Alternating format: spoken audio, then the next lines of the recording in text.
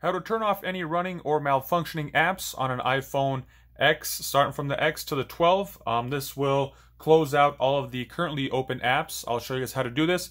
This does work from the old iPhone, starting with the um, iPhone X, iPhone XR, iPhone XS, XS Max, the iPhone 11, 11 Pro, 11 Pro Max, um, the SE second generation, and then the iPhone 12 series, the 12 mini, 12, 12 Pro, and the iPhone 12 Max. Um, this will also work for some iPads and iPods that don't have the home button. So this is the method of doing it for all the ones that don't have uh, the home button, the physical button itself. So the way to do it with these is all you got to do is start off. When I start off, I start below the actual screen where the screen starts and I swipe up and I get about halfway and just pause. Um, sometimes pulling it to the side helps activate it. So just like that, that's how you act to bring them up. Once again, I'll do that, and it's just almost like a quick, if you pause, or let's say kind of pull it to the side, if you go up to at least the middle, around the middle, and kind of pull or hold it, maybe a force touch type option, it'll open them up.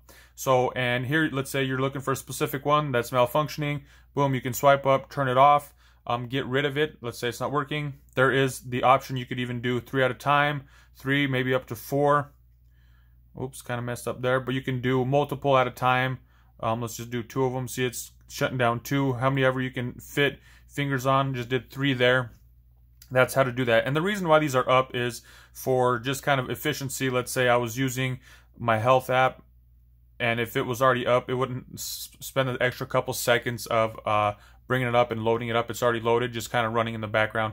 But if you don't like to do that and you want to get rid of anything that's running in the background, if you usually do, you can always go one by one, getting rid of anything that's there, or you could just try to do two or three at a time by using multiple fingers. So that's what I have for you guys in this one. And if you guys wanted to see it on some of the ones that have the actual button, all you got to do is double click the button and then the same screen will pop up and from there you can swipe up. And unfortunately there is no um, hide all button or you know, turn off all, delete all, whatever you want to call it. There's nothing on that, but just a quick tutorial that I put together on how to get rid of that. Um, hope you guys found this video helpful. If you did, be sure to give it a thumbs up and share it with anybody who might be looking for this information. Thank you guys for watching. Have a nice day.